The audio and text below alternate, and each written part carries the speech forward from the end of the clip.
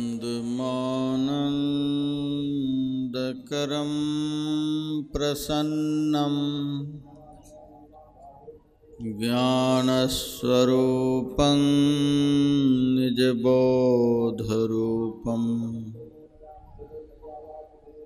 योगीन्द्रमीड्यं भवरोगवैद्यम् श्रीमद्गुरुं नित्यमहं नमामि। यस्याङ्घ्रिपङ्कजपरागपरप्रभावात् भूत्वा कृतिकृतिमतां श्रुतिमाचरामि। तं सद्गुरुं सततसर्वसुखं सदग्र्यं। वंदे सदा विमलबोधघनं विचित्रम्। वन्दो गुरुपदकञ्जकृपासिन्धुनररूपहरि। महामोहतमपुञ्जजासुवचन रविकर्णिकर मेरा मुझमें कुछ नहीं, जो कुछ है सब तोर। तेरा तुझको सौंपते, क्या लगेगा मोर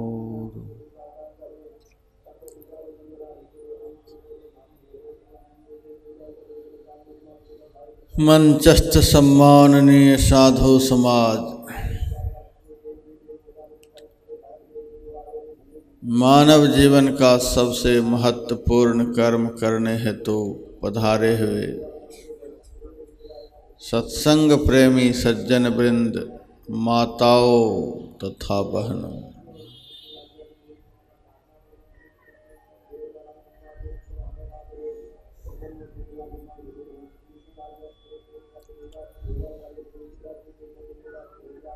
संत मत की जितनी बातें हैं, सब पुरानी हैं।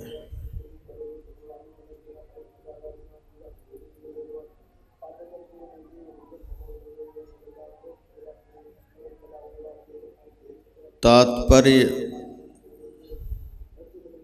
सृष्टि के आदि काल से जितने ऋषि मुनि महात्मा साधना की कसौटी पर कसकर।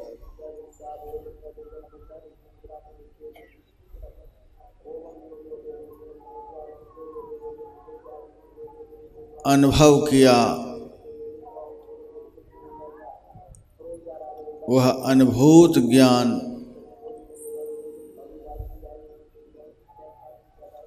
यहाँ बतलाया जाता है।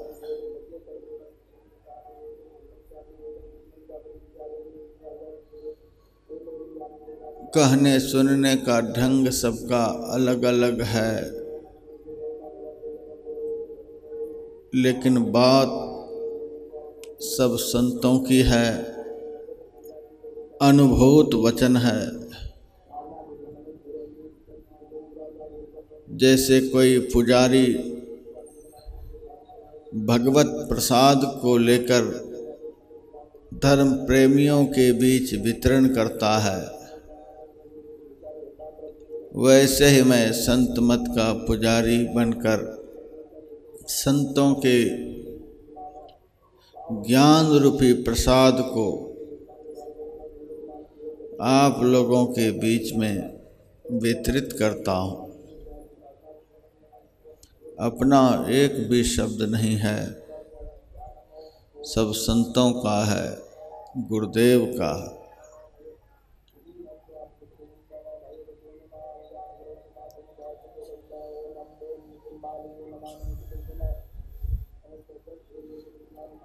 प्रसंग चल रहा है। मनोनिरोध का।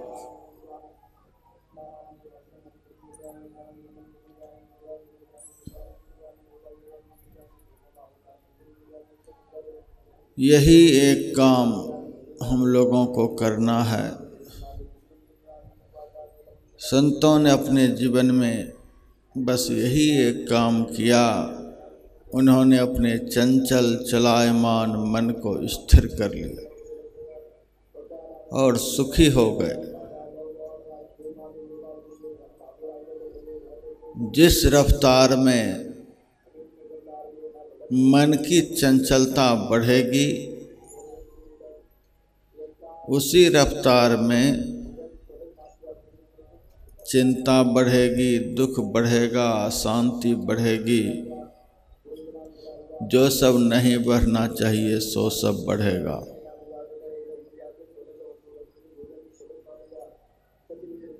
मन की स्थिरता जितनी बढ़ेगी,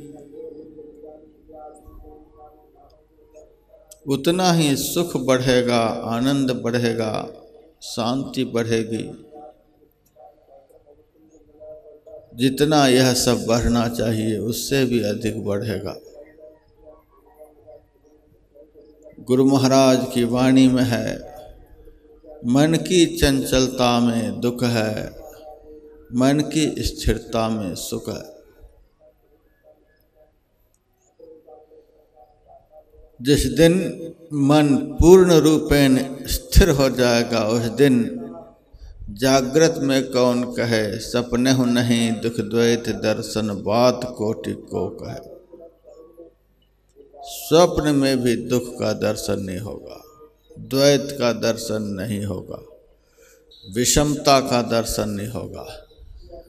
चंचल मन ही द्वैत भाव उत्पन्न करता है, विषमता उत्पन्न करता है, विकारों को जन्म देता है, वासना को उत्पन्न करता है, इच्छा चिंता को बढ़ाता है।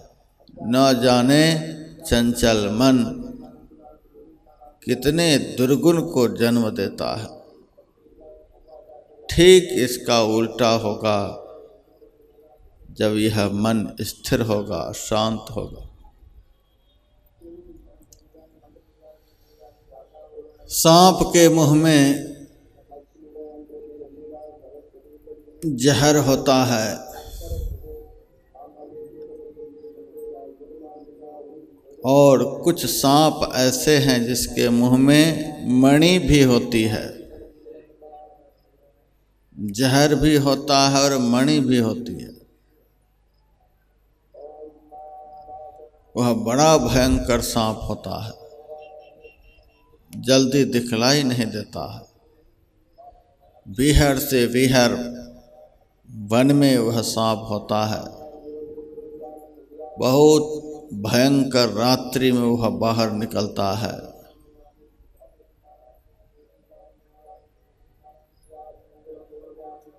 दोनों चीज़ को अपने मुँह में रखता है। जहर को भी, मणि को भी। दोनों का दो गुण है। जहर का गुण है आदमी को ख़त्म कर देने का, जिसके ऊपर जहर का प्रभाव होता है वह आदमी जीता नहीं है। और मणि का काम है जहर के असर को ख़त्म कर देने का। एक ही मुँह में आदमी को मार देने का गुण है मार देने वाली चीज़ है और आदमी को जिला देने वाली चीज़ भी है।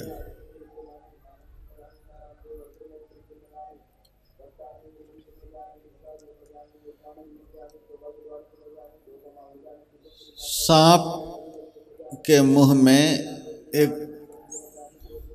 ताल मोगरा होता है।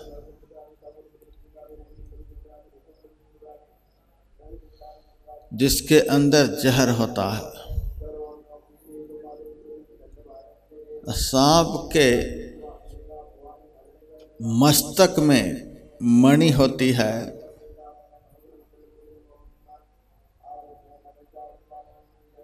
जो मुँह के ऊपर वाले भाग में रहती है।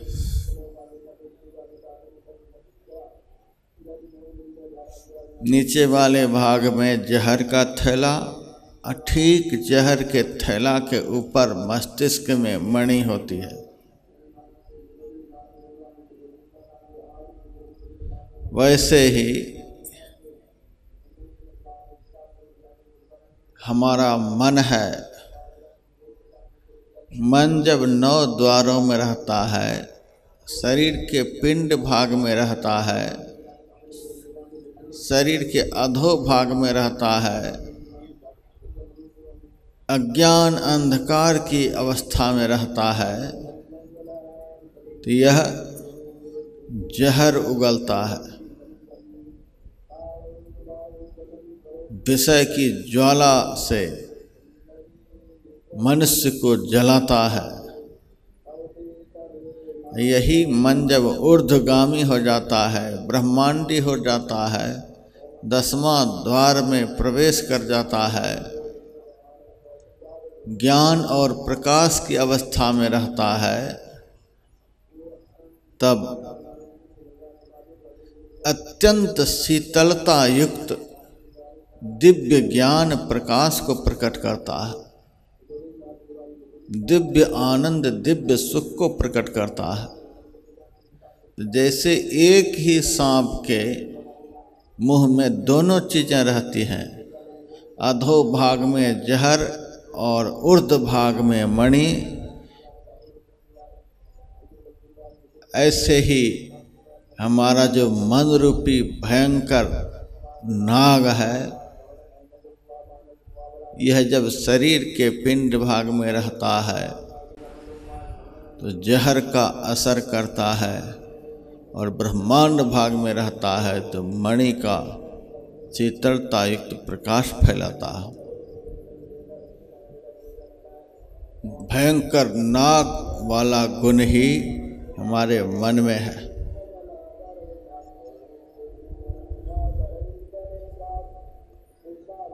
हम आप चाहेंगे कि यह मन हमारे शरीर से अलग हो जाए, यह भी संभव नहीं है। यह हमारे शरीर का ही एक अंग है। यह रहेगा शरीर में ही।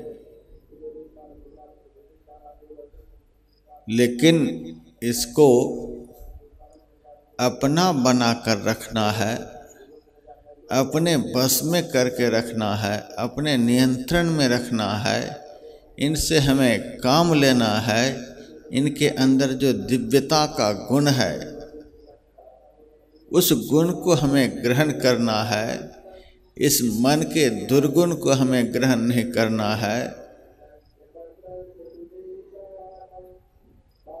बस यह मन रहेगा हमारे अंदर में ही, लेकिन इसके द्वारा हमें सुख आनंद का अनुभव करना है। यदि इस मन के द्वारा सुख और आनंद को पाना चाहते हैं तो जैसे भी हो, इस मन का नियंत्रण करें, इस मन को एकाग्र करें। इस मन को शांत और स्थिर करें। इस मन को अधोमुख से ऊर्धमुख की तरफ़ बढ़ाएँ।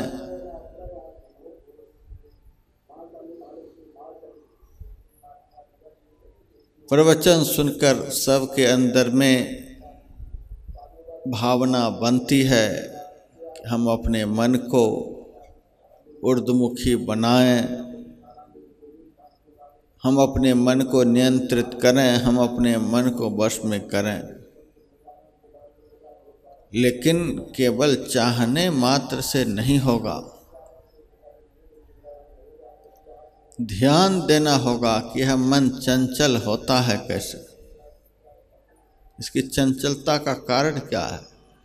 बहुत कारणों पर विचार किया गया था। मुख्य कारण जो है मलिनता। मन की मलिनता जितनी बढ़ती है, मन की चंचलता उतनी ही अधिक बढ़ती है। मन की निर्मलता जितनी बढ़ेगी, मन की स्थिरता उतनी ही बढ़ेगी। नौ द्वारों में जब तक मन रहता है तब तक मन की मलिनता बढ़ती है। नौ द्वारों से जैसे जैसे दसवां द्वार की तरफ़ हमारी गति होती है, वैसे वैसे मन की निर्मलता बढ़ती है। कल बतलाया गया था, नौ द्वार अत्यंत मलिनतम स्थान है। मलिनतम स्थान पर किसी का चित्त नहीं लगता।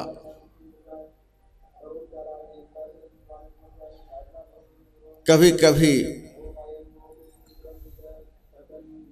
किसी गंदी जगह होकर गुजरना पड़ता है तो मन उस समय कैसा होता है? अनुभव करिए। कभी किसी गंदी जगह पर थोड़ी देर के लिए ठहरना पड़ता है, उस समय मन की कैसी स्थिति होती है, थोड़ा सा विचार करिए। मन आकुल व्याकुल हो जाता है। और कभी किसी पवित्र स्थान पर रहना होता है, कभी किसी पवित्र स्थान होकर के गुजरना होता है, तब अपने मन की स्थिति पर विचार करें। उस समय हमारा मन कैसा रहता है। पवित्रता से मन की स्थिरता बढ़ती है, सात्विकता बढ़ती है और अपवित्रता से मन की मलिनता बढ़ती है। आप लोगों से पूछा जाए कि आप लोग दुनिया में कहीं भी हड्डी का नगर देखे हैं नहीं देखे होंगे। लेकिन भगवान बुद्ध ने कहा, हम देखते हैं रोज, रहते हैं उसी नगर में। लेकिन हमें बहुत दिनों से रहते रहते इस कदर अभ्यास हो गया है कि हमें पता नहीं चल रहा हम हैं कहाँ। भगवान बुद्ध ने कहा, अट्ठी नंग नगरंग कुतो मंस लोहित लेपनम जथ जरा च मच्चू च मनो च ओहितो हम लोगों का जो यह शरीर है, यह हड्डी का नगर है। मांस और रुधिर का इसके ऊपर लेप चढ़ा हुआ है। इसके भीतर में वृद्धावस्था छिपी हुई है। इसके अंदर में मृत्यु गुप्त रूप से बैठी हुई है। हम श्वास ले रहे हैं, छोड़ रहे हैं। हमें उसकी कोई गिनती नहीं, लेकिन हमारे अंदर में जो श्वास की पूंजी है कि यह आदमी इतनी श्वास को लेगा, इतनी श्वास को छोड़ेगा, उसके बाद यह ख़त्म हो जाएगा इस बात की जानकारी हमारे अंदर में जो मौत बैठी हुई है उसको है। हम तो आनंद से श्वास ले रहे हैं, छोड़ रहे हैं, मज़ा आ रहा है। लेकिन हमारे अंदर में, इस हड्डी के नगर में जो मौत बैठी हुई है, उसको हमारे श्वास का पता है। यह आदमी के अंदर में कितने श्वास की पूंजी है। वह मृत्यु हमारी श्वास रूपी पूंजी की गिनती कर रही है बैठ कर के एक एक श्वास करके वो गिनती कर रही है। और जिस दिन श्वास पूर्ण हो जाएगा, हमें तो पता नहीं रहेगा। और वह मौत जैसे चूहा के बिल में सांप घुस जाता है और बिल का भी आनंद लेता है। चूहा को खा कर के भी मज़ा लेता है। उसी तरह से हमारे अंदर में मौत प्रवेश करके और हमारी देह के अंदर जो सूक्ष्म देह है, सूक्ष्म देह के सहित इस जीव को अपने अंदर में कर लेती है। अर्थात हमको स्थूल देह से रहित करा देती है। हमारा शरीर खत्म हो जाता है। तो हमारे इस शरीर रूपी हड्डी हड्डी के नगर में बहुत सूक्ष्म रूप से वृद्धावस्था छिपी हुई है, बुढ़ापा छिपा हुआ है। देखते ही देखते देखते ही देखते वह प्रकट हो जाएगा। आप कितना भी चाहेंगे बाला बाल को काला कर लेने के लिए नया दांत लगा लेने के लिए, कान में मशीन लगा करके खूब बढ़िया से सुनने के लिए, आँख में पावर वाला चश्मा लगाकर बढ़िया से बढ़िया देखने के लिए, लेकिन वृद्धावस्था कुछ नहीं समझेगी। आपकी देह रूपी रथ को वह नष्ट भ्रष्ट करके छोड़ देगी। हमारे शरीर रूपी हड्डी के नगर में बुढ़ापा बैठा हुआ है, मौत बैठी हुई है। मनो मखोच वही तो। मत्सर, अहंकार, ईर्ष्या, द्वेष, छल, कपट, सारे दुर्विकार भरे हुए। ऐसी गंदी और निकृष्टतम जगह में हम अंदर में रहते हैं और यही हमारा मन भी रहता है। गंदी जगह में किसी का भी मन लगता नहीं है। हमारे मन की अनस्थिरता का कारण एकमात्र नव द्वार की गंदगी है। इससे निकले बगैर हमारा मन स्थिर हो नहीं सकता। नौ द्वारों में जब तक रहेंगे, कभी तो भजन करने का मन होगा, कभी नहीं होगा। ज़्यादा तो नहीं की ही संभावना है।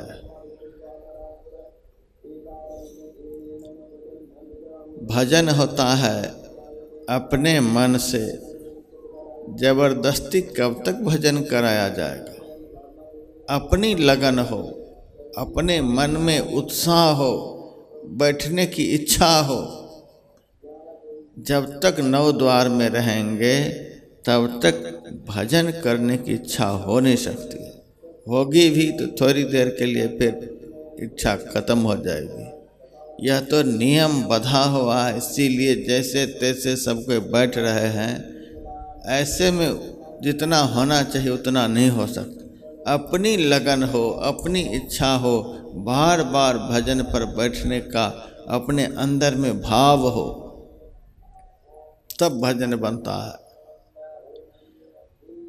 अभी हमारे मन में भजन पर बारंबार बैठने की इच्छा क्यों नहीं होती है? कारण क्या है? हम लोग अनुभव करते हैं।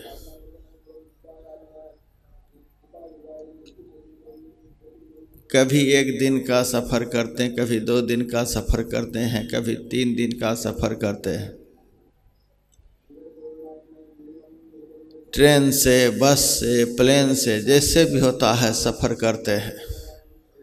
ट्रेन में, बस में, प्लेन में, जैसे तैसे आदमी के साथ में बैठना होता है, जैसी तैसी जगह पर बैठना होता है, जैसे तैसे शौचालय में जाना होता है। दो तीन दिनों तक इस कदर सफ़र करके आते हैं। भूख तो लगी हुई रहती है, लेकिन घर के लोग कहते हैं दो तीन दिनों से चल कर आ रहे हैं, भूखे होंगे, जल्दी जल्दी पहले भोजन कर लीजिए। आप क्या कहते हैं? थोड़ा सा फ्रेश हो लेता हूँ, उसके बाद भोजन करूँगा। घर के लोग कहते, क्या भूख नहीं लगी है? भूख तो है, लेकिन इच्छा नहीं है। दो तीन दिनों से जैसे तैसे जो चलते आ रहा हूँ, इसीलिए खाने की इच्छा नहीं हो रही है। भूख है, लेकिन इच्छा नहीं है। थोड़ा सा फ्रेश हो लेता हूँ। ठीक है, जाइए, फ्रेश हो आइए। बाथरूम में जाते हैं, स्नान करते हैं। नए कपड़े पहन लेते हैं। थोड़ा सा यदि कुछ संस्कार अच्छा है तो स्नान के बाद पूजा पाठ भी कर लेते हैं। उसके बाद कहते हैं, अब ले आओ भोजन। फ्रेश होने के बाद भोजन करने की इच्छा बढ़ती है। भोजन करने में आनंद आता है। तो भूख रहने पर भी फ्रेश हुए बगैर भोजन करने की रुचि नहीं बढ़ती है, इच्छा नहीं बढ़ती है। कारण क्या है? दो तीन दिनों से जो जहाँ तहाँ जैसे तैसे बैठे उठे आए हैं, नहाए धोए नहीं हैं, इसीलिए मलिनता के कारण भोजन करने की रुचि भूख रहते हुए भी खत्म हो गई है।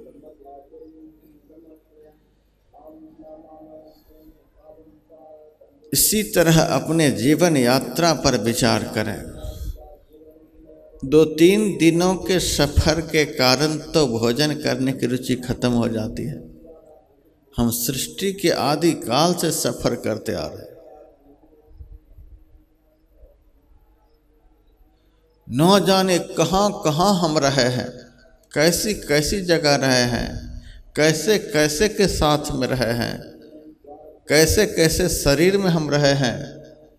कितनी बार हम गधा के शरीर में रहे होंगे, कुत्ता के शरीर में रहे होंगे, बैल के शरीर में रहे होंगे, सुअर के शरीर में रहे होंगे, पखाना पेशाब के कीड़े बनकर रहे होंगे, उस गंदगी कोई सीमा नहीं है। सृष्टि के आदिकाल से करोड़ों करोड़ वर्ष से इस कदर गंदगी गंदगी में सफ़र करते हुए हम चले आ रहे हैं। हमारा मन अत्यंत मलिन हो गया है और आज भी शरीर के मलिन भाग में ही यह मन रह रहा है, जहाँ पखाना, पेशाब का कारखाना है। गुरु नानक देव जी महाराज कहते हैं नव दरवाजे नवे दर फीके, रस दसवा अमृत चुई जय। शरीर के नव द्वार में देह में फीका रस निकल रहा है। गंदगी निकल रही नव द्वारों से।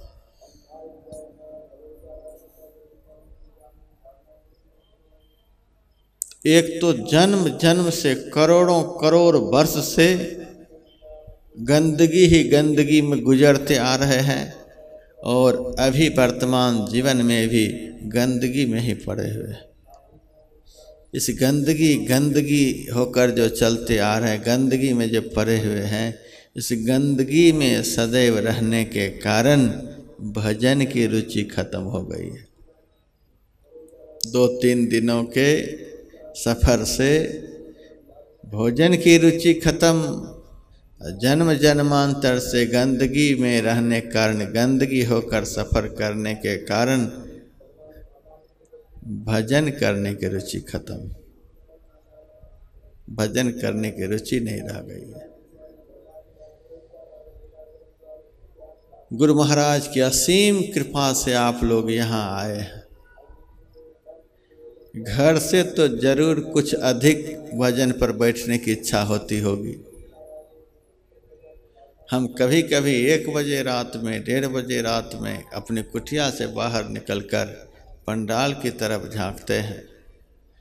किसी किसी को मैं ध्यान पर बैठा हुआ देखता हूँ।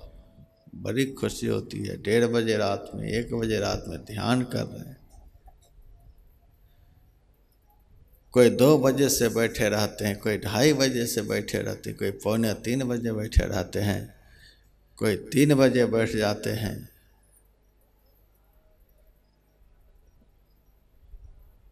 जो जितना अपने मन पर ध्यान देते हैं, वो उतना ही सतर्क सावधान होकर अधिक से अधिक समय भजन में लगाते हैं। जिसका संस्कार मर गया है, सड़ गया है, घंटी बजती रहती है, लोग बैठे रहते हैं, लेकिन स्वयं की इच्छा नहीं होती है कि सब बैठे हैं। सब लोग ध्यान लगा रहे हैं, सब लोग मानव जीवन को धन्य कर रहे हैं और हम कहाँ बैठे हुए हैं, हम कहाँ लेटे हुए हैं। तो बहुत लोग अपने संस्कार को बना रहे हैं, बढ़ा रहे हैं। यह पवित्रतम स्थान है, पवित्रता का गुण यहाँ पर है, पवित्र विचारों का प्रचार यहाँ हो रहा है, पवित्रता का संचार हो रहा है। कुछ अभ्यासी थोड़ी देर तक मंत्र का जप करके यहाँ के वातावरण को पवित्र कर रहे हैं। बहुत अभ्यासी उससे ऊपर कुछ बढ़कर इष्ट के रूप का ध्यान करके यहाँ के वातावरण को और अधिक पवित्र कर रहे हैं। कुछ अभ्यास उससे भी ऊपर उठ करके अपने इष्ट के मुखार बिंद के ध्यान के द्वारा यहाँ के वातावरण को और अधिक पवित्र कर रहे हैं। कुछ अभ्यास से उससे भी ऊपर उठकर दृष्टि निरोध की क्रिया के द्वारा यहाँ के वातावरण को और अधिक शुद्ध सात्विक बना रहे हैं। एकाध उससे भी ऊपर वाले होंगे। जो यहाँ के वातावरण को अत्यंत सात्विक, पवित्र बना रहे होंगे। औरों को छोड़ दीजिए। कम से कम गुरु महाराज तो यहाँ बैठे हैं। गुरु महाराज को तो अब कुछ करना नहीं है। हम लोगों को तो जब करना है। किसी को साधना में तरक्की है तो ध्यान कर रहे हैं। कुछ लोग दृष्टि योग कर रहे हैं कुछ लोग नादान संधान की क्रिया कर रहे हैं। हम लोगों को तो करने के लिए न जाने कितना बाकी है, लेकिन गुरु महाराज को तो कुछ बाकी नहीं है। पूर्णतम परमात्मा के रूप में विशुद्ध सात्विक गुणों का बैठे बैठे संचार कर रहे हैं। मैं दिन में भी देखता हूँ गुरु महाराज बैठे हुए हैं, रात में भी देखता हूँ गुरु महाराज बैठे हुए हैं। बाकी लोग तो कभी कभी आते हैं कभी कभी जाते हैं। लेकिन हम लोगों का हो भाग्य है, हम लोगों के कल्याण करने के लिए गुरु महाराज यहाँ अड्डा जमा कर चौबीसों घंटे एक महीने के लिए बैठे हुए हैं।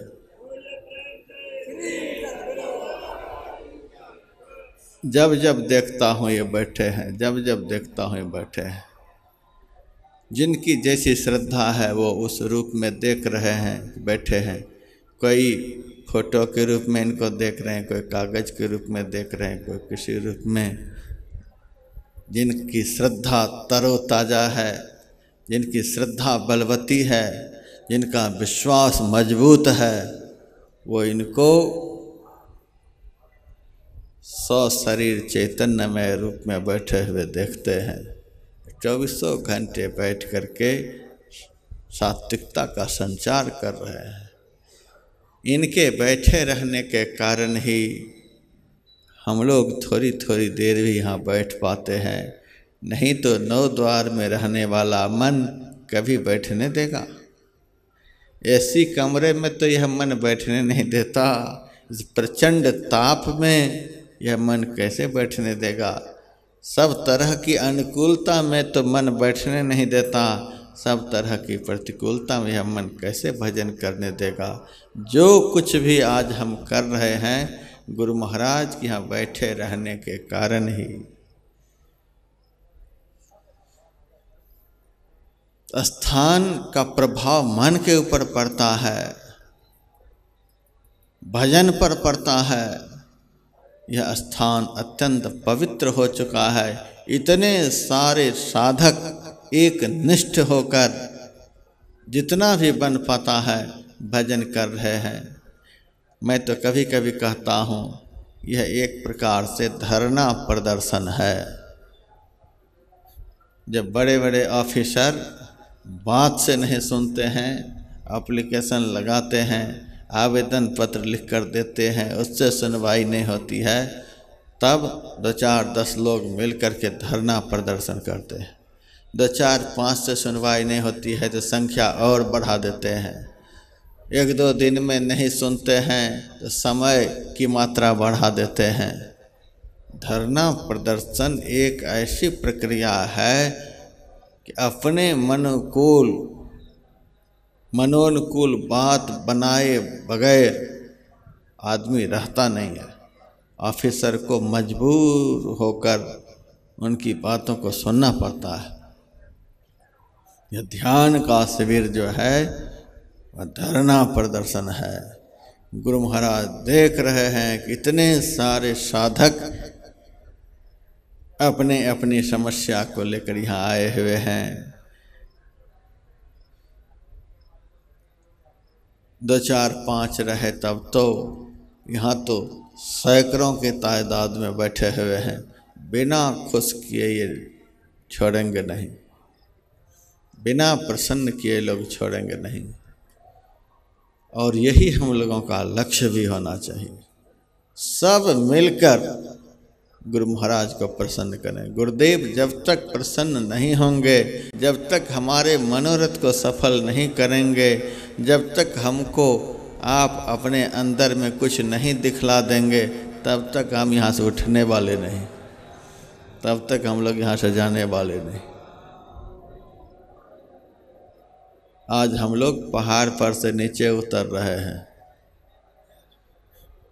एक महीना का ध्यान शिविर यहाँ का आयोजित हुआ है। आज सोलहवा दिन। पहाड़ पर से उतरना शुरू हो गया। चढ़ने में तो समय लगा था, लेकिन अब 21 मई कब पहुँच जाएगी पता नहीं।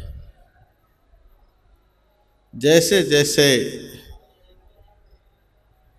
दिन बढ़ता जाए, वैसे वैसे हमारी पीड़ा बढ़ती जाए, व्याकुलता बढ़ती जाए। सरकार पंद्रह दिन बीत गए, लेकिन अब तक कुछ भी नहीं। आज सोलहवा दिन सरकार है, कुछ भी नहीं देख पाए। हमारी व्याकुलता बढ़े, प्रेम बढ़े, लगन बढ़े, विश्वास बढ़े, विरह बढ़े। हम अंदर से छटपटाते रहें हमारे जीवन में जो एक महीने का मंगलमय सुअवसर धरना प्रदर्शन के लिए प्राप्त हुआ था, उसके इतने सारे दिन गुजर गए, फिर भी गुरुदेव आपके दरबार में हमारी कोई सुनवाई नहीं हुई है। इस तरह का भाव प्रत्येक साधकों के मन में हो। भाव बनेगा। यहाँ बैठे भी रहेंगे तो बनेगा। बहुत खाने वाले के साथ में आप रहेंगे तो वह आदमी आप कम भी खाते हैं तो थोड़ा बहुत खिलाते ही रहेंगे। अरे, एक बिस्कुट ही खा लो, एक कप चाय ही पी लो, एक गिलास दूध ही पी लो, वो ज़्यादा खाएगा, वो चाहेगा कि ये भी कुछ खाए। बहुत भोजन करने वाले के साथ आप बहुत अधिक रहेंगे तो कम भी खाते हैं तो वो आपको बार बार खिला खिला करके आपकी भूख को बढ़ाते रहेंगे। उसी तरह से बहुत भजन करने वाले के साथ में रहेंगे तो वे थोड़ा थोड़ा भी भजन कराते कराते आपके भजन की भूख को बढ़ा देंगे। यह सत्संग का आयोजन किस लिए है? यह ध्यान का कार्यक्रम किस लिए है? पैसे बटोरने के लिए ज़्यादा से ज़्यादा पैसे बच जाए, झोली भर के हम यहाँ उज्जैन से हरिद्वार जाएँ। गुरु महाराज जानते होंगे कि किसके अंदर का क्या लक्ष्य है और जिनका जैसा लक्ष्य है उनको उस तरह का फल मिल रहा है। लक्ष्य के अनुरूप फल मिलता है। एकमात्र इस शिविर का लक्ष्य है। जितने भक्त यहाँ पधारे हैं, उनके अंदर जो भजन करने की भूख खत्म हो गई है, मंदाग्नि बढ़ गई है, वह मंदाग्नि उद्दीप्त हो जाए, भजन करने की भूख बढ़ जाए। भजन में कुछ दिखे, यह तो बहुत बड़ी बात है, यह तो इस धरना प्रदर्शन की सफलता है। लेकिन हम इसको भी कम उपलब्धि नहीं समझते भजन करने की भूख बढ़ जाए। आदमी का मन बारंबार भजन पर बैठने का हो, भजन पर बैठने का हो, सत्संग करने से, भजन करने से भजन करने की भूख बढ़ती है। साधु संत महात्मा बहुत भजन करने वाले होते हैं, सच्चे साधु सदैव भजन में ही डूबे रहते हैं। बातचीत कर रहे हैं, उनका भजन चल रहा है। भोजन कर रहे हैं, उनका भजन चल रहा है। संसार का सारा व्यवहार शरीर से संपादित हो रहा है, लेकिन भजन चल रहा है। इस प्रकार से जिन्होंने अपने मन को सदैव भजन में लगा रखा है, ऐसे अभ्यासी का संग जो करेगा, उसके भजन की भूख बढ़ जाएगी। यह सत्संग भजन की भूख को बढ़ाता है। यह ध्यान का शिविर भजन की भूख को बढ़ाता है। ऐसी जगह आपको कहाँ मिलेगी? आप भले ही स्नान करने के लिए नदी में जाइए, आप भले ही दर्शन करने के लिए किसी मंदिर में जाइए, याद रखिएगा, यदि भजन करने की भूख नहीं बढ़ी, आपका जाना व्यर्थ है। हम अपने जीवन की सफलता, हम अपनी साधना की सफलता, इसी में समझते हैं कि जहाँ रहकर हमारे भजन की भूख बढ़ जाए, हमारे लिए वही सबसे बड़ा तीर्थ है। जिस कर्म के करने से भजन की भूख बढ़े, वही सबसे बड़ा शुभ कर्म है, सबसे बड़ा सत्कर्म है। आदमी समझता नहीं सुन रहे अंधी श्रद्धा के विषय में गुरु महाराज कहे, आदमी समझ नहीं रहे हैं कि कहाँ जाने से भजन की भूख बढ़ेगी। पानी तो खुद गंदा है, वह आपके भजन की भूख को कैसे बढ़ा देगा?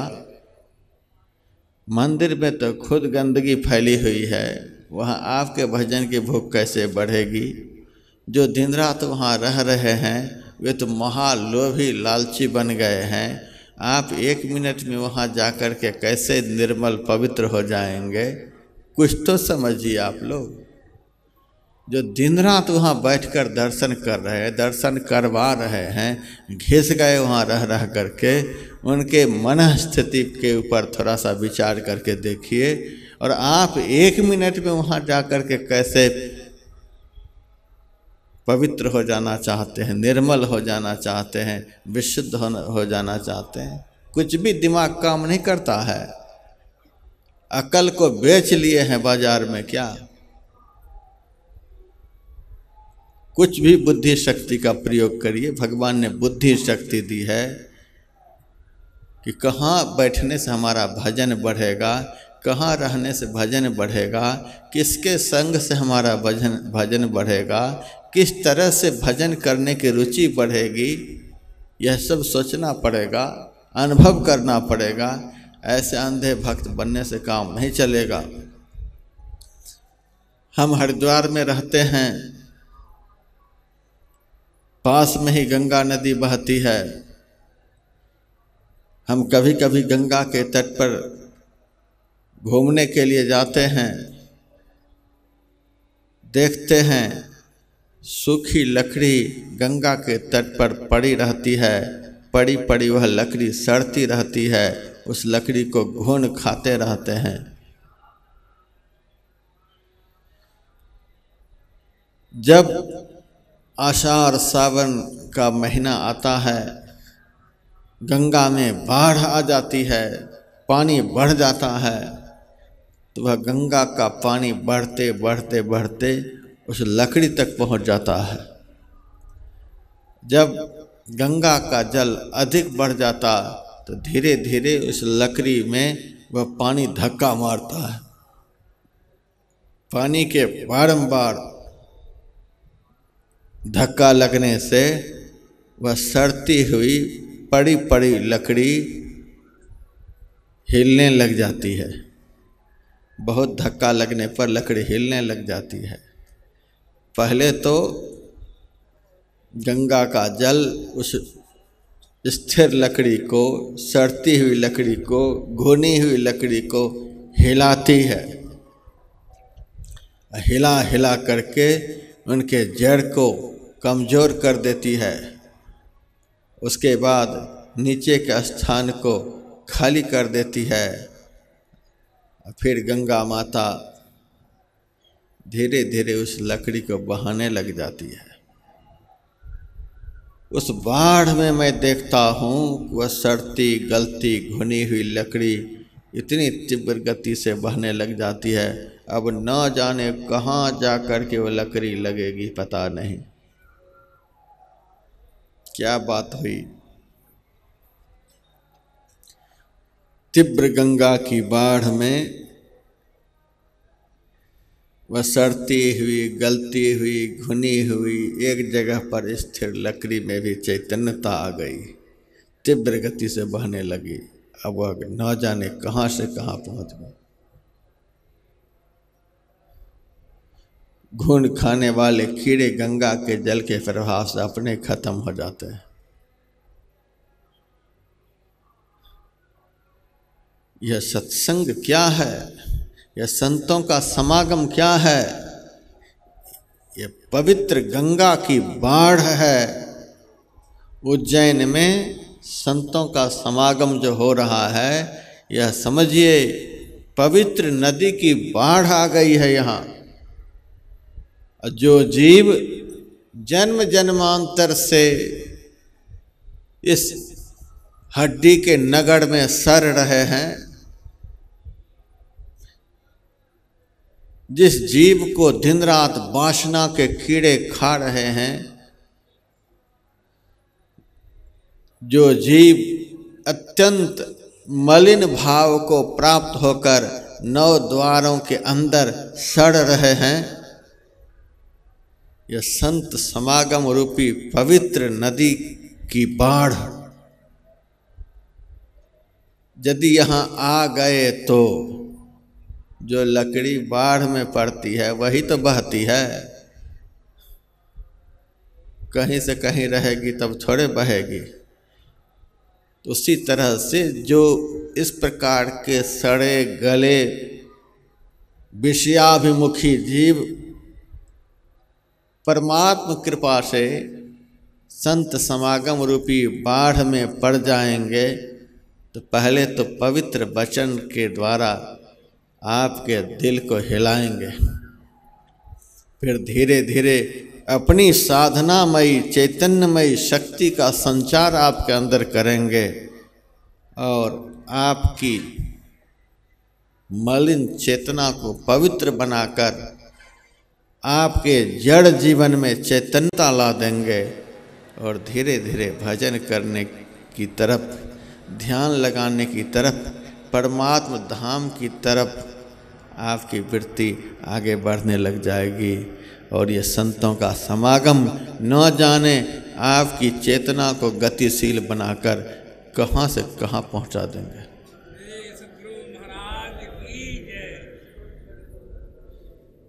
तो हम लोगों को थोड़ी सी अकल का प्रयोग करना है, बुद्धि का प्रयोग करना है।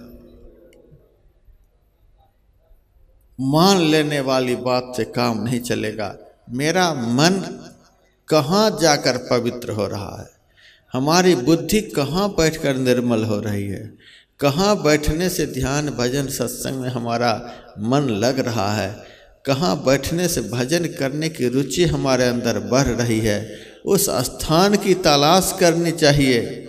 सारी दुनिया भटक रही तो हम भी उसी के पीछे लग जाएँगे। कदापि नहीं।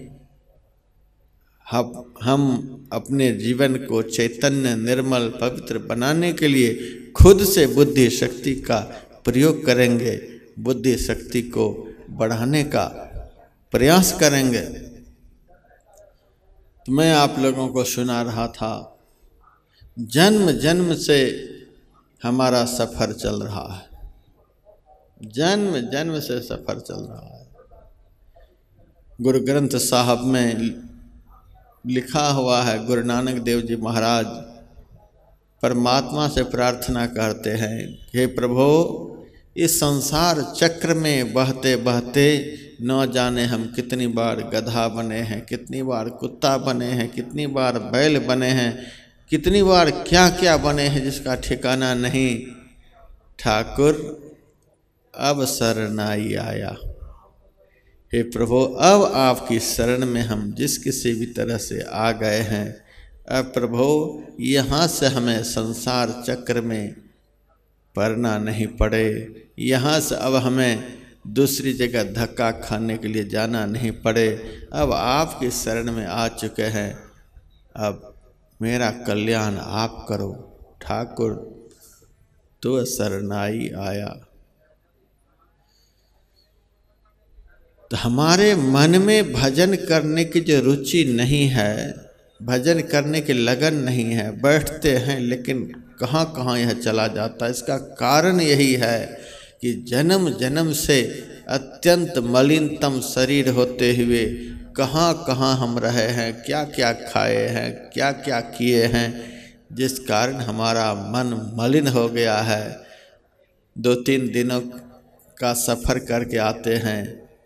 तो बिना स्नान किए भोजन करने की रुचि नहीं होती। इस बात को समझिए, हम जन्म जन्म से इस संसार में मलिनतम कर्मों को करते आए हैं, जिस कारण भजन करने की रुचि खत्म हो गई है।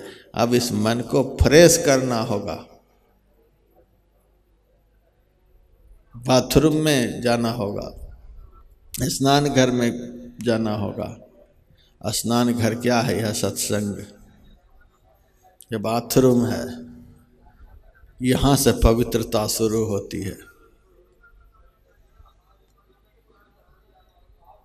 सुंदरदास जी महाराज की वाणी में, जो कोई जाय मिले इन सुनर, होय पवित्र लगे हरि रंगा दोष कलंक सबय मिट जाए जो नीचह जाय सो हो तो तंगा। ज्यो कोई नीर मलिन महाअति गंग मिलत हो जात है गंगा, सुंदर शुद्ध करे तत्काल है जगमाहि बड़ो सत्संगा। आप लोग अपने जन्म जन्म के मलिन मन को पवित्र करने के लिए स्नानागार में प्रवेश करा चुके हैं। यह सत्संग सुंदर शुद्ध करे तत्काल ही है जगमाही बड़ो सत्संगा। दासी के नारद, हिरणी के श्रृंगी ऋषि, अंडा से वृंडा सुखदेव जी कहात है। गागरी से कुंभज, रेणुका से परशुराम, कुलहंडू से वाल्मीकि महिमा लखात है। मत्स्य गंधा से व्यास, गणिका से वशिष्ठ मुनि, सुद्रणी से भरद्वाज, ब्राह्मण पद पात हैं। कहे कवि केशोदास कहालो करो विचार, सत्संग के प्रभाव से शिरोमणि कहात है। यह सत्संग तुरंत मन को पवित्र करने का काम करता है। तुलसीदास जी महाराज ने सत्संग को सरोवर बतलाया। हम लोग यहाँ सरोवर में आए हुए पानी तो नहीं है यहाँ। आप लोगों का कपड़ा नहीं भीग रहा है, लेकिन विश्वास रखिए, आपका मन तर हो रहा है। यह सर आवत अति कठिनाई, राम कृपा बिन आय न जाई यह सरोवर है, सरोवर में हम आप लोग आकर के बैठे हैं। गोस्वामी लक्ष्मीनाथ परमहंस जी कहते हैं, लक्ष्मी पति सर दरस परसते लक्ष चौरासी तरह रे। इस सत्संग रूपी सरोवर का दर्शन पर्शन करने से चौरासी लाख जोनियों से आदमी निस्तार पा जाता है। हम आप लोग सरोवर में बैठे हुए हैं। किसी संत ने सत्संग को गंगा कहा, किसी ने इसको सरोवर कहा, किसी ने इसको तीर्थराज प्रयाग कहा। तीनों नदियाँ यहाँ बह रही हैं। जिस समय परमात्मा के सगुण साकार उपासना की चर्चा होती है, उस समय समझिए कि गंगा की धारा बह रही है। जिस समय सत्संग में परमात्मा के निर्गुण निराकार स्वरूप की चर्चा होती है उस समय समझिए कि सरस्वती की धारा बह रही है। जिस समय कर्तव्य और कर्तव्य कर्म का ज्ञान यहाँ दिया जाता है, उस समय समझिए कि यमुना की धारा बह रही है। तीनों धारा यहाँ बह रही हैं। हम आप लोग इस धारा में पढ़कर अपने को पवित्र बना रहे हैं। भर्तृहरि से भक्तों ने पूछा है महाराज, सारे शास्त्र, सारे ऋषि मुनि महात्मा सत्संग की बड़ी महिमा बतलाते हैं। आप कृपा कर बतलाओ सत्संग करने से क्या होता है। भर्तृहरि ने कहा, यह क्या पूछ रहे हो सत्संग करने से क्या होता है? मेरे से तो यह पूछो कि सत्संग करने से क्या नहीं होता है। सुनो क्या सब होता है। ध्येयम सदा। जाड्यंग धियो हरति। सत्संग सबसे पहला काम यही करता है कि बुद्धि की जड़ता को हरण कर लेता है। बुद्धि की जड़ता क्या है? देख लीजिए। उज्जैन आए हैं, देखिए बुद्धि की जड़ता को। दस दस किलो का गट्ठर सिर पर लिए, धूप में घूम रहे हैं। सत्संग हो रहा है, महात्मा बोल रहे हैं, इतने सारे लोग आनंद ले रहे हैं और उसकी बुद्धि ऐसी जड़ हो गई है कि कम से कम यहाँ बैठकर सुन नहीं सकते। तीनों नदियाँ जहाँ एक साथ बह रही हैं, यहाँ अपने जीवन को पवित्र नहीं बना सकते, धक्के खा रहे हैं। जहाँ प्रत्यक्ष दर्शन का ज्ञान कराया जाता, वहाँ पाँच मिनट बैठ करके ज्ञान प्राप्त नहीं करते, धक्के खा रहे हैं। इस प्रकार से इस जीव के अंदर जो धक्का खाने की आदत है, और आदत इसीलिए है कि चौरासी लाख में धक्का खाया है। चौरासी लाख जोनियों में धक्का खाते खाते धक्का खाने की आदत हो गई है। इसीलिए मनुष्य जीवन जो थोड़े दिनों के लिए मिला है, इस जीवन में भी धक्के ही खा रहे हैं। कोई कहीं जा रहे हैं, कोई कहीं जा रहे हैं, कोई कहीं जा रहे हैं। दर्शन हो रहा है कि नहीं हो रहा है, कुछ पता नहीं। हम पवित्र हो रहे हैं कि नहीं हो रहे कुछ पता नहीं। हमारा उद्धार हो रहा है कि नहीं हो रहा कुछ भी पता नहीं। देखा देखी सब जा रहे हैं तो हम भी जा रहे हैं। बहुत तक लोग चढ़े बिन भेदे, देखा देखी आही, रपट पाँव गिर पड़े अधरते आई परे भई माही। भगवान कृष्ण ने उद्धव जी से कहा, नमांग रोध यति योगो। भागवत का श्लोक मैं सुना रहा हूँ। नमांग रोधयति योगो। हे उद्धव योग करके कोई मुझे बस में नहीं कर सकता। खूब योग करो। कोई ईश्वर को बस में नहीं कर सकता। न सांख्यं धर्म एवच सांख्य शास्त्र में प्रकृति और पुरुष का ज्ञान दिया गया है। केवल उस शास्त्र के पठन पाठन करने मात्र से मुझे बस में नहीं कर सकता। बाहर के धर्म कर्म से मुझे कोई बस में नहीं कर सकता। न स्वाध्याय तपस्त्याग इष्टापूर्तंग न दक्षिणा। अनेक शास्त्रों के स्वाध्याय से मुझे कोई बस में नहीं कर सकता। तप के द्वारा मुझे कोई बस में नहीं कर सकता। बाह्य त्याग से कोई मुझे बस में नहीं कर सकता। और कुआँ बनवा दिया, तालाब बनवा दिया, मंदिर बनवा दिया, इस तरह के जो कर्म है, इसको इष्टापूर्त कहते हैं। इस तरह के कर्म करने वालों के बस में भी मैं नहीं होता। बड़ी बड़ी दक्षिणा देने वालों के भी बस में नहीं होता। कल एक दो महात्मा मेरे पास आए थे, वे सुना रहे थे, महाराज, कल गए थे भंडारे में। बारह सौ महात्मा को पर्ची मिली थी। कितना बड़ा पैसा वाला महात्मा है, सबको पाँच पाँच सौ रुपये दक्षिणा में दे रहे थे।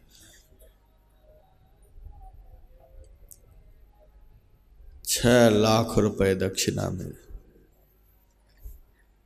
क्या इस दक्षिणा से परमात्मा उनके वश में हो जाएँगे? भगवान का वचन है, नौ दक्षिणा दक्षिणा से भी वश में होने वाला नहीं।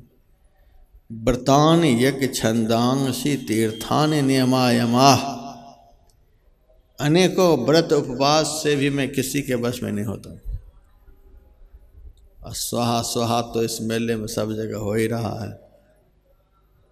यज्ञ यज्ञ के द्वारा भी मैं किसी के बस में नहीं होता। चारों वेदों की ऋचाओं का गायन कोई दिन रात करता रहे, फिर भी मैं उसके बस में नहीं होता। अनेक तीर्थों के सेवन से, यम नियम के परिपालन से मैं किसी के बस में नहीं होता। उद्धव जी सुन सुन करके तंग आ गए। महाराज, जब आप किसी तरह बस में होते ही नहीं तो आपका भजन कौन करेगा? भगवान ने कहा, अभी पूरा श्लोक कहाँ बोला? हूँ तीन ही पंक्ति तो बोला, हूँ, चौथी पंक्ति बाकी है। उसमें मैं उपाय बतला रहा हूँ, मैं बस में कैसे होता हूँ?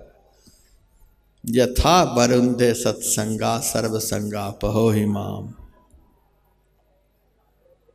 माम एक मात्र जो संत का संग करता है, संतों का समागम करता है, मैं उसके बस में हो जाता हूँ।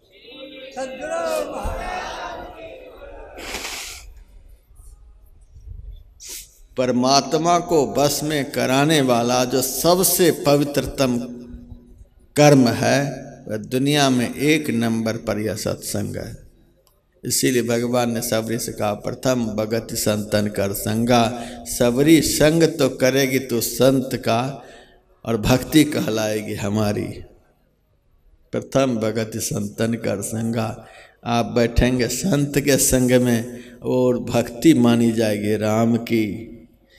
आप उपदेश सुनेंगे संत से और भक्ति कहलाएगी राम की। आप सेवा करेंगे गुरु की। भक्ति कहलाएगी। राम की आप सबसे अधिक मानेंगे संत को और भक्ति कहलाएगी राम की। क्या संत की महिमा शास्त्रों में है? कहा नहीं जा सकता। तो भर्तृहरि ने कहा, जाड्यंग धियो हरती। सत्संग बुद्धि की जड़ता को हरण कर लेता है। वो सोच समझ कर के काम करता है। कहाँ जाने से, क्या करने से हमारा कल्याण होगा, उस पर वह बुद्धि का प्रयोग करता है। जहाँ बुद्धि का प्रयोग नहीं देखा देखी लोग आगे बढ़ रहे हैं, उसको भेड़िया धसान भक्ति कहते हैं। बुद्धि का प्रयोग हो। जाड्यंग धियो हरति सत्संग बुद्धि की जड़ता को हरण कर लेता है। पहला लाभ सत्संग का। दूसरा लाभ, सिचति वाच सत्यम। सत्संग वाणी में सत्यता लाता है। जो नित्य नियम से संत का संग करेगा, उनके मुँह से जो वचन निकलेगा, वह सत्य हो जाएगा। सिचति वाच सत्यम। तीसरा लाभ, मानो नथिंग दिशति जो संत का संग करेगा, उसका समाज में सम्मान बढ़ेगा। चौथा लाभ, पाप मपा करोती, सत्संग समग्र पापों का हरण कर लेता है। देखिए, नदी नहीं बह रही है, यहाँ पानी नहीं है, किसी का कपड़ा नहीं भीग रहा है, कोई भीड़ भाड़ नहीं, सब आराम से अपनी अपनी जगह बैठे हैं। नौ तारीख को स्नान शुरू हो जाएगा चार बजे सुबह से। जाइएगा, स्नान करिएगा। पता चलेगा कितनी भीड़ भाड़ होगी। यदि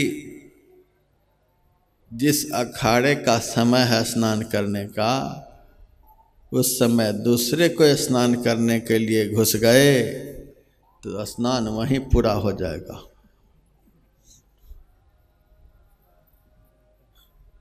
आप जा कर के देख लीजिएगा। तेरह अखाड़े हैं।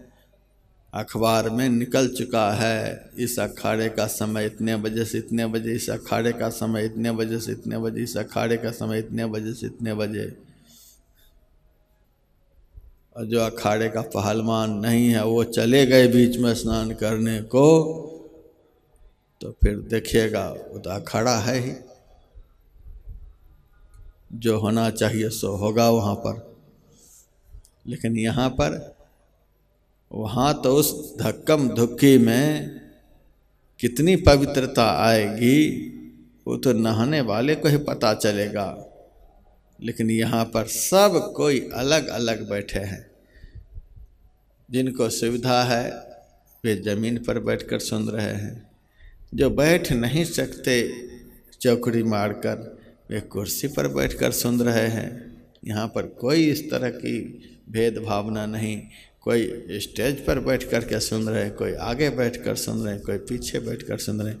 किसी भी तरह से यहाँ जो बैठे हैं, सबको बराबर बराबर स्नान करने का फल। वहाँ तो अहंकार पैदा होगा स्नान करने पर। जो पहले नंबर में नहाएँगे, वो सबसे जब्बर होंगे। जो दूसरे नंबर में उससे कमज़ोर महात्मा हो, जो उससे तीसरे नंबर में नहाएँगे, उससे कमज़ोर, जो उससे बाद में नहाएँगे, वो उससे भी कमज़ोर। जो सबके बाद में जा कर के नहाएँगे, वो सबसे घटिया होंगे।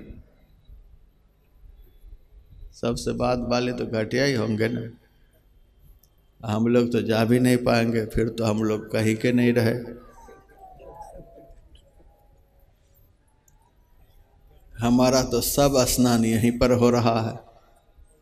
हम तो कहीं के नहीं, लेकिन हमें ऐसा विश्वास नहीं है कि हम कहीं के नहीं हैं।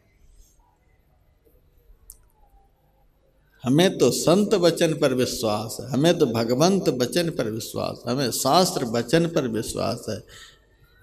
हमको ऐसे सदगुरु जीवन में मिले हैं जो हमारे मन को भटकने नहीं देते हैं।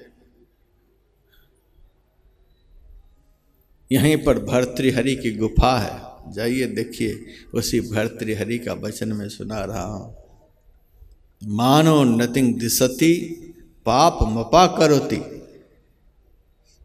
इस सत्संग रूपी सरोवर में, इस सत्संग रूपी तीर्थराज प्रयाग में, जहाँ जल दिखलाई नहीं दे रहा है और सबके अंदर पवित्रता का संचार हो रहा है, पाप मपा करोती।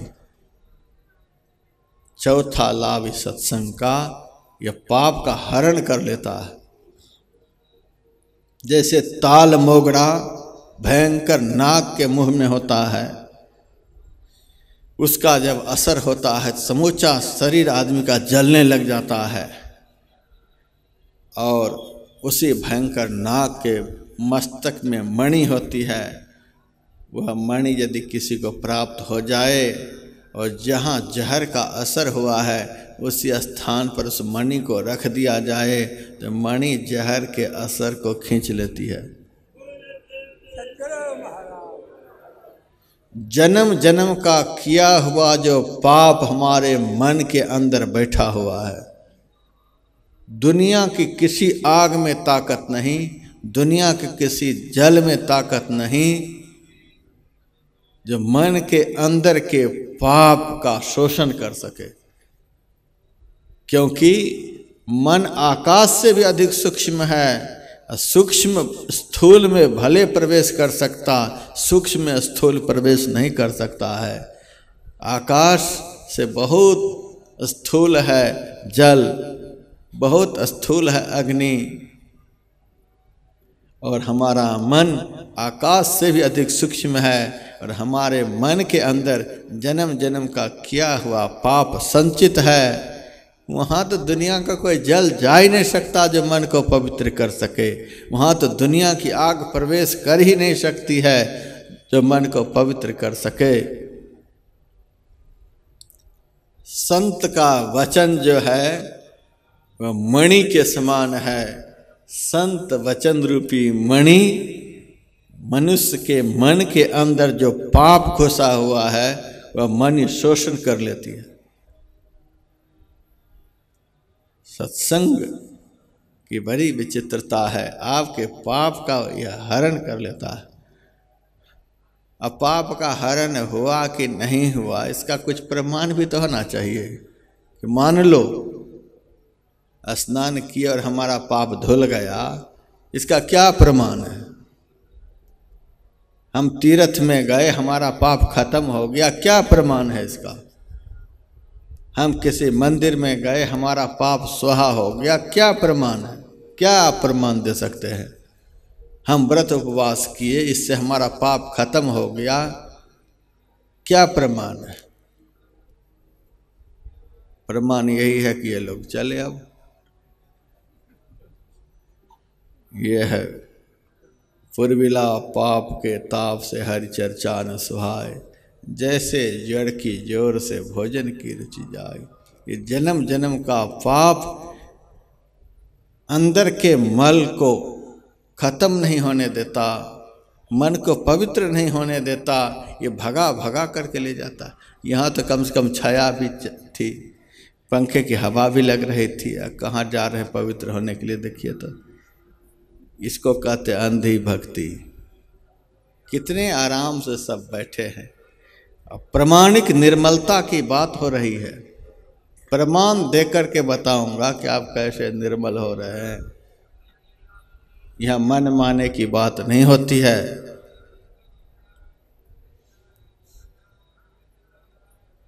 तीरथ तीरथ भटकत मूरख मूर्त जल दर्शाया है। लक्ष्मीपति जहान आन्हरो परमेश्वर पार लगाया है। ये जड़ उपासना करते करते, जड़ की आराधना करते करते, जड़ तीर्थों में घूमते घूमते, जड़ से संबंध स्थापित करते करते इनकी बुद्धि की चैतन्यता नष्ट हो चुकी है।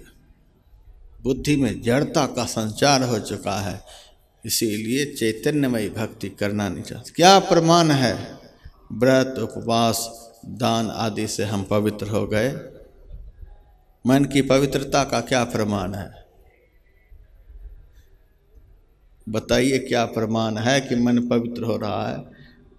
रामायण में काकभूषण जी महाराज कहते हैं, सुमति क्षुधा बाढ़ नित नई, विषय आस दुर्बलता गई।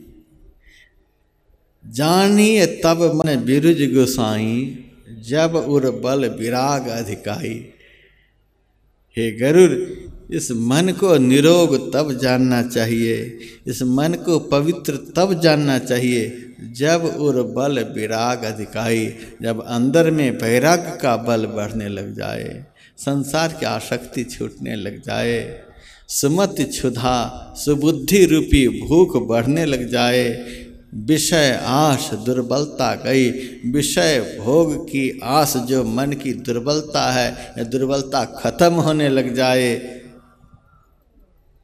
और भजन पर बैठूं और भजन करूँ, और भजन करूँ, और भजन करूँ, और शुभ कर्म, सत्कर्म करूँ, इस तरह की पवित्र भावना मन में बढ़ने लग जाए। यह मन की निर्मलता है, यह मन की पवित्रता है। यह कहाँ होगा जा कर के देख लीजिए।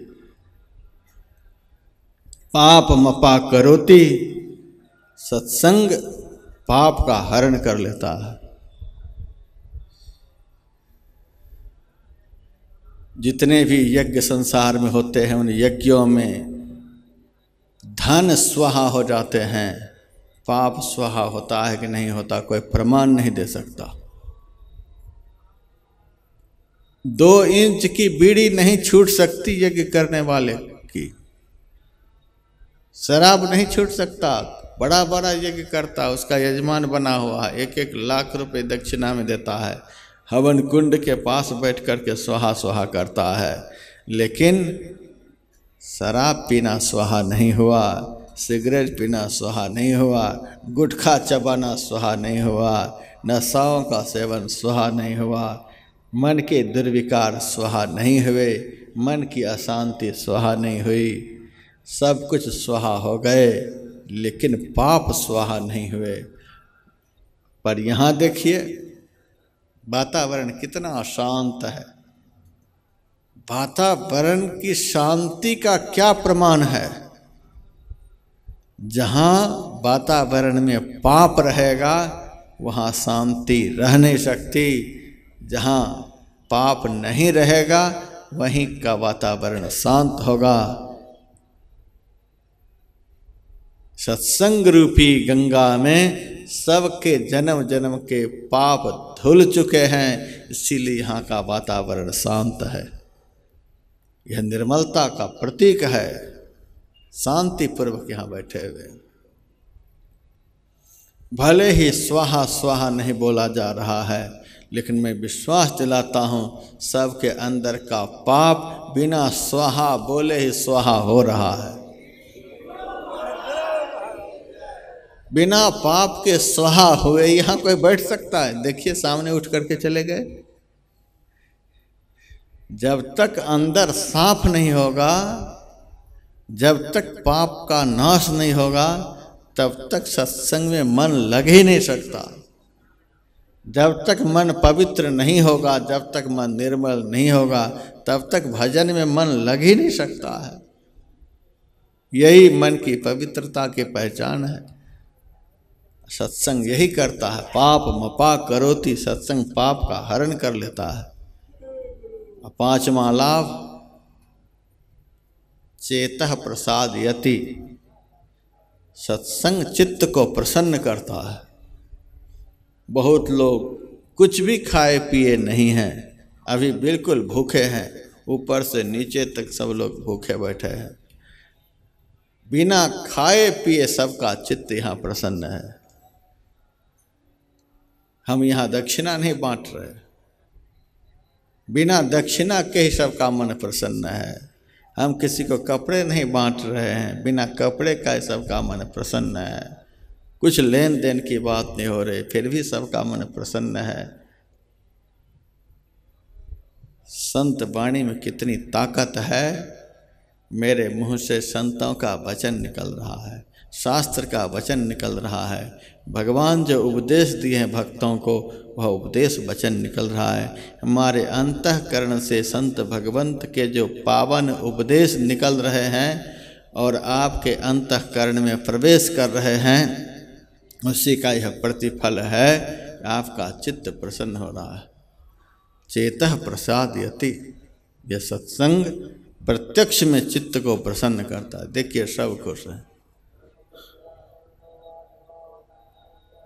अध्यक्ष तनोत कीर्तिम। यह सत्संग समस्त दिशाओं में कीर्ति का विस्तार करता है। जो सत्संग करेगा, किसी भी जाति का, किसी भी धर्म का, किसी भी मज़हब का, किसी भी देश का, स्त्री का शरीर हो, पुरुष का शरीर हो, और किसी भी भेष का,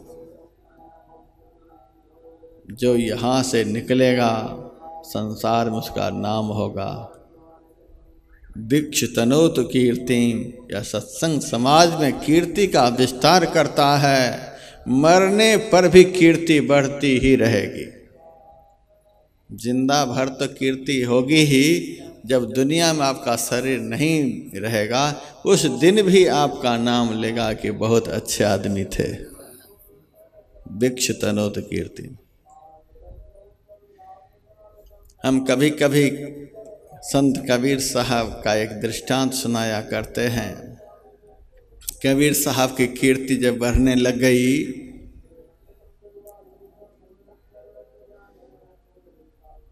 तो कबीर साहब को अच्छा नहीं लग रहा था। देखिए संत कैसे होते हैं धूली जैसो धन जाकी सूली सो संसार सुख भूली जैसो भाग देखे अंत कैसी यारी है। पाप जैसो प्रभुताई साप जैसो सम्मान बड़ाई बिच्छन जैसी नागिनी सी नारी है। अग्नि जैसो इंद्र लोग विघ्न जैसो विधि लोग कीरति कलंक जैसी सिद्धि सी ठगारी है।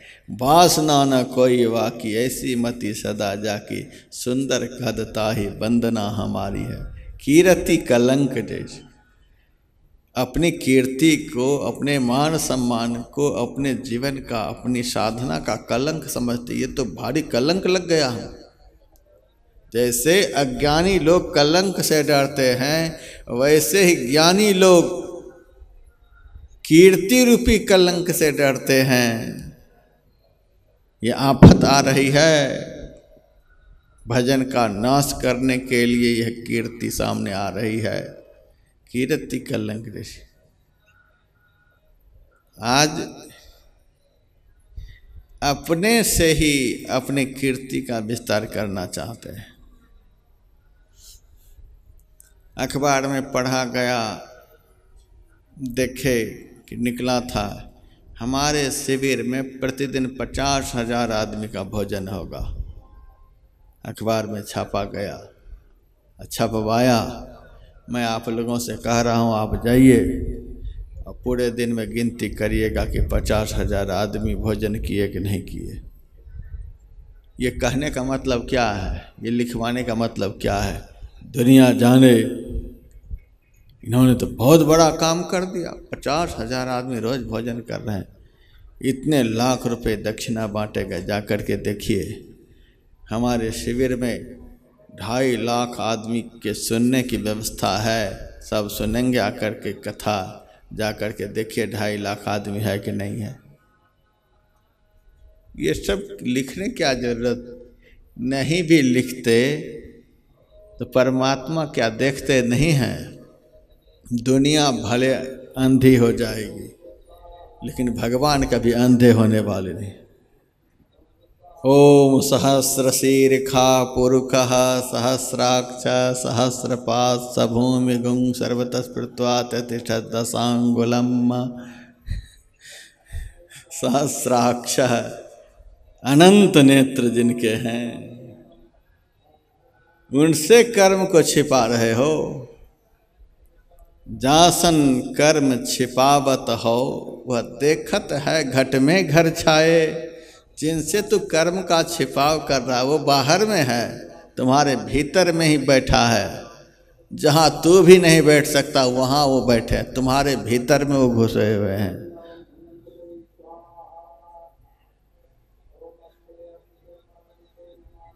जो रग रग के भीतर समाये हुए हैं।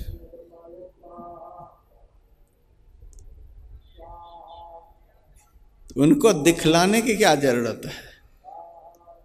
तो परमात्मा हमारे कृत कर्म को देख रहे हैं, इससे संतोष नहीं है। हम जो कर रहे हैं, हमारे कृत कर्म को सबसे बढ़कर जो परमात्मा है, वो देख रहे हैं, इससे आदमी को संतोष नहीं है। हमारे कृतकर्म को संसार के नेत्रहीन लोग देखे, इससे उनको खुशी है।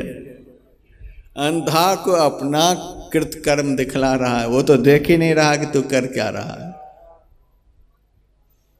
तुम्हारी ठगी को, तुम्हारे पाखंड को, तुम्हारे आडंबर को, तुम्हारी चतुराई को, तुम्हारी मूर्खता को तो दुनिया के लोग देख ही नहीं रहे हैं। उनके पास आँख है कहाँ? तो अंधे को अपना कृतकर्म दिखला करके खुश हो रहे हो। तुम्हें तो खुशी होनी चाहिए। कि जिनके अनंत नेत्र हैं, वे हमारे कृतकर्म को देखे। हमें तो उनके लिए कृतकर्म करना है, जिनको अनंत नेत्र हैं, जिनको नेत्र है ही नहीं, उनको हम क्या अपना कर्म दिखलाएँगे? हमें तो कर्म उनके लिए करना है, जो कर्म के सही फल प्रदाता हैं और हमारे कर्म को देख रहे हैं। भगवान सबके कर्म को देखते हैं। कबीर साहब की कीर्ति जब बढ़ने लगी, उनको बड़ा दुख होने लगा। काशी में गंगा के तट पर घास की ऐसी झोपड़ी बना करके रह रहे थे कि बारिश हो तो एक बूंद पानी बाहर नहीं जाए। ऐसी झोपड़ी में। कबीर तेरी झोपड़ी गल कटियन के पास। जो करेगा सो भरेगा, तू क्यों हो तो उदास? घास की झोपड़ी में कबीर रह रहे हैं। और ऐसी झोपड़ी और संपूर्ण संसार में उनकी कीर्ति का विस्तार हो रहा है। आज अपनी कीर्ति की वृद्धि करने के लिए क्या क्या नाटक जिनके शिविर में जितने ऐसी कमरे होंगे, जिनके शिविर में जितने नाटक होंगे, जितने आडंबर होंगे, जितने पाखंड होंगे, वो उतने ही बड़े कहलाएँगे। क्योंकि ये सड़कों पर डोलने वाले के पास आँख है कहाँ? वो तो देखता है कि ए महाराज, देखो। कितनी ऐसी के बीच में रह रहे हैं, कितनी सुविधाओं के बीच में, इनकी गाड़ी इतने लाख की, इनकी सुविधाएँ इतनी, इनके सामने सोने की थाल में छप्पन भोग रोज आ रहे हैं। संसार के लोग तो इन्हीं चीज़ों को देख देख करके महत्ता का विस्तार करते हैं। ये है महात्मा। मेरे से किसी ने कहा, महाराज, हमारे गुरु जी के पास तो चार कार है। मैंने कहा, तू बहुत बुरा ठगाया। तुम्हारे गुरु के पास चार कार हैं। तुम्हें तो टाटा बिरला को गुरु बनाना चाहिए, जिनकी फैक्ट्री से डेढ़ सौ ट्रक रोज निकल रहे हैं। मज़ा आ जाएगा उनको गुरु बनाने से। देखते रहो दिन भर गाड़ी। गुरु की महत्ता है गाड़ियों में, गुरु की महत्ता है एसी में, गुरु की महत्ता है भोगों की बहुलता में, गुरु की महानता है ये बाहर के चमत्कार में, गुरु की महानता तो त्याग और वैराग्य में है, भजन और भक्ति में है, कितना त्याग है, कितना वैराग्य है, कितना भजन का बल है, कितना संतोष है, कितनी दया है, कितनी करुणा है, कितनी कृपालुता है। कितना समता का भाव उनके दिल में है। घास की झोपड़ी के अंदर कबीर साहब हैं और उनकी कीर्ति का विस्तार हो रहा। है उन्हें बड़ा दुख हो रहा झोपड़ी में रह रहा हूँ। दुनिया से अलग होकर के गंगा के तट पर फिर भी इतने सारे लोग, हम अब कोई ऐसा उपाय करेंगे जिससे मेरे पास कोई आए नहीं। साधना के द्वारा रैदास जी महाराज को कहा कि भैया तू भी आ जा आज हमारी कुटिया में। रैदास जी महाराज भी आ गए। दोनों गुरु भाई थे। दोनों आ गए। कबीर साहब काशी नगरी की सबसे सुप्रसिद्ध, सबसे सुंदरी एक वेश्या के पास गए और कहा कि कल मेरे साथ तुम्हें पूरे दिन काशी नगरी में घूमना है। जो पैसे लेने हो ले लेना। वेश्या तैयार हो गई। और एक रिक्शा वाले से कबीर साहब ने कहा, कल पूरे दिन हमें रिक्शा पर तुम्हें घुमाना है। जो पैसे लेने हो ले लेना। बात तय हो गई। ठीक समय पर बेसिया आई, रिक्शा वाला आया। बेसिया को बीच में बिठा लिया। बेसिया के कंधे पर एक तरफ़ से कबीर साहब का हाथ है, दूसरी तरफ़ से रैदास जी महाराज का हाथ है।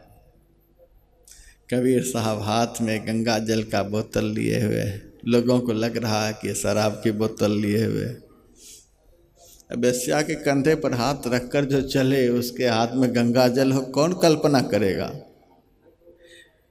बोतल मुँह में लगाए चले जा रहे हैं कबीर साहब। गली गली में घूम रहे हैं। रिक्शा वाले का कोई गली छूटनी नहीं चाहिए, ताकि कोई गली से मेरे पास प्रणाम करने के लिए आए नहीं।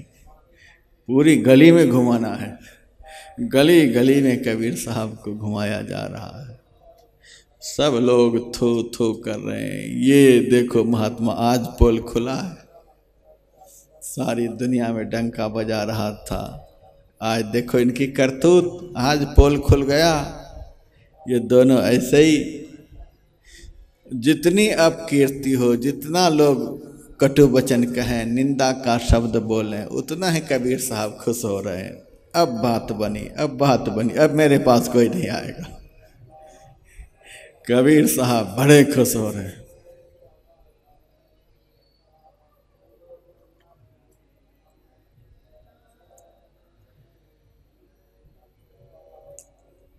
पूरे दिन घूमते हुए अपनी कुटिया पर आए और बेसिया को पैसा दिए, रिक्शा वाले को पैसा दिए, दोनों वापस हो गए। पूरी नगरी में हंगामा मच गया। कबीर के कुकृत्य की निंदा हो रही है।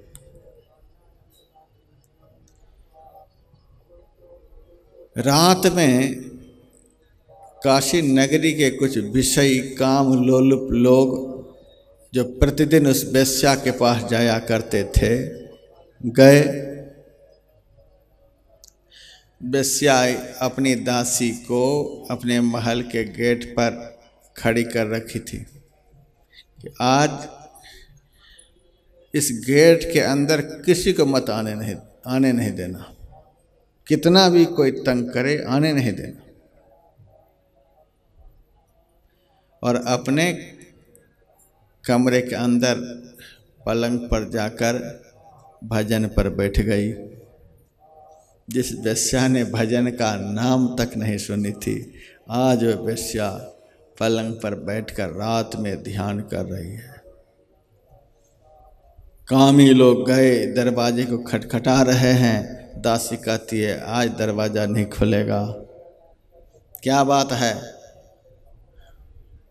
मालकिन अंदर बैठी हुई है, उनका आदेश है, किसी को मत आने देना। अरे खोलो तो सही, बहुत धक्का लगाए।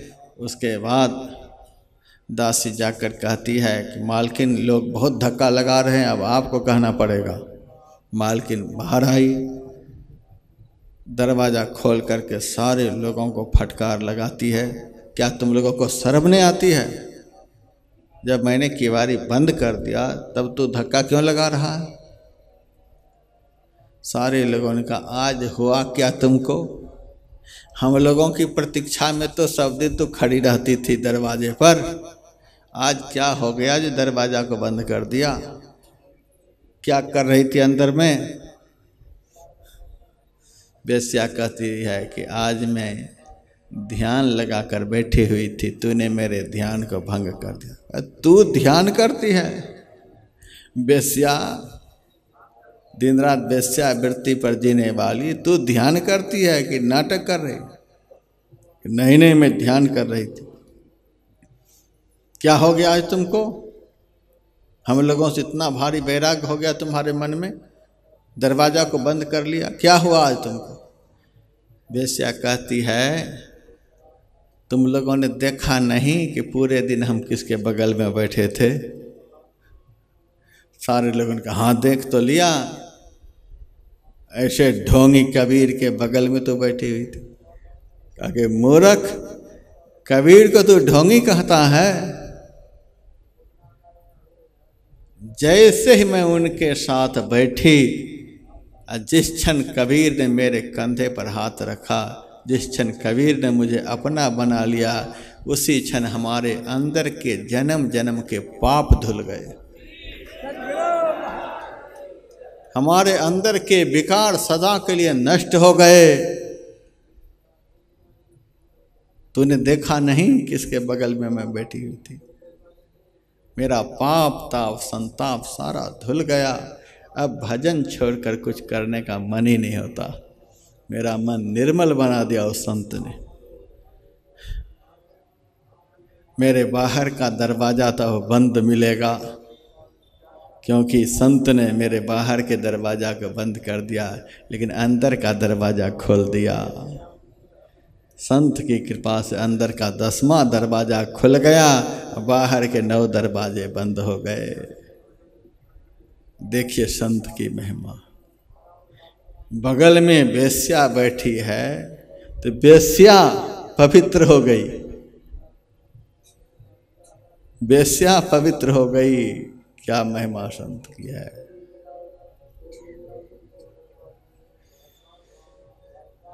अरे, अब समझ में आया कि कबीर क्यों यह लीला किए थे। बेस्या कहते मूर्ख उस कबीर की निंदा करते हो, जिनके अंग के स्पर्श मात्र से हम जन्म जन्म की पापनी निर्मल हो गई। वे तो नाटक कर रहे थे, लीला कर रहे थे कि मेरे पास कोई आए नहीं। अच्छा ऐसा है कबीर। सुबह होते ही नगर में ये बात बिजली की तरह फैल गई। शाम तक आज तक जितनी भीड़ उनकी कुटिया में नहीं हुई थी, उससे दस गुना अधिक भीड़ हो गई। कबीर साहब कहते, ये आफत कहाँ से फिर से आ गए? इतने लोग तो कभी भी नहीं आए थे। हमने तो सोचा था कि अब मेरे पास कोई नहीं आएगा। कहीं डंडा मारने के लिए तो नहीं आ गया है। कुटिया से बाहर निकलते हैं, सारे लोग चरणों में लिपट गए। अरे मेरे जैसा पापी दुनिया में कोई नहीं। सारे दिन देखा कि वैश्या के साथ में हम घूम रहे थे। शराब की बोतल हमारे हाथ में ऐसे तो प्रणाम करता है। सारे लोगों का आपके नाटक का पता चल गया।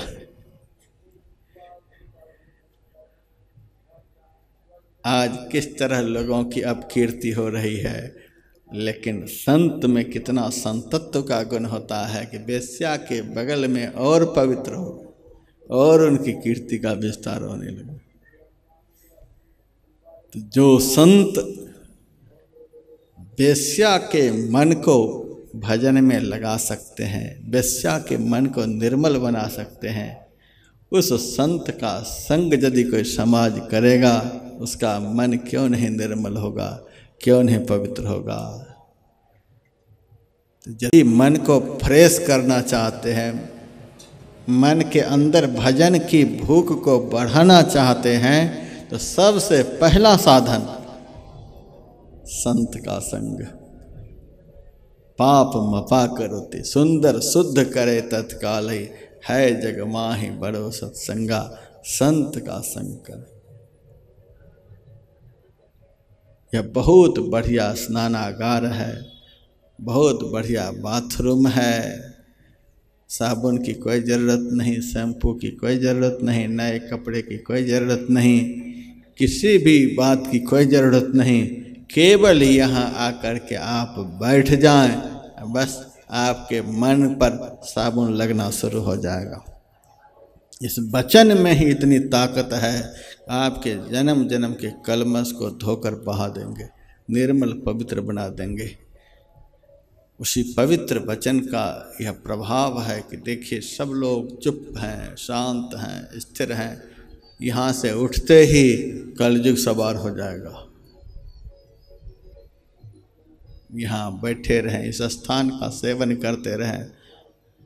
कल और इस विषय को हम आगे बढ़ाएँगे। चौबीसों घंटे तो हम सत्संग में बैठ नहीं सकते, सब दिन तो सत्संग में रह नहीं सकते। सब समय तो सत्संग का कार्यक्रम चल नहीं सकता। उसके बाद हमारे मन को निर्मल बनाने का साधन क्या है?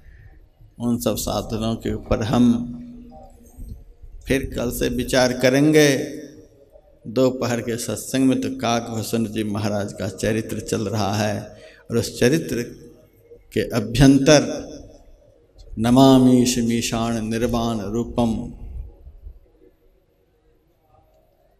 जो प्रार्थना के रूप में प्रसंग आया है, भगवान शिव शंकर के शाश्वत स्वरूप की चर्चा इस प्रार्थना के माध्यम से यहाँ चल रही है। उसका दर्शन करेंगे। शाम में काकभूषुंड का चरित्र, सुबह में हम लोगों के मन का चरित्र, सुबह मन का चरित्र, शाम में काकभूषण का चरित्र।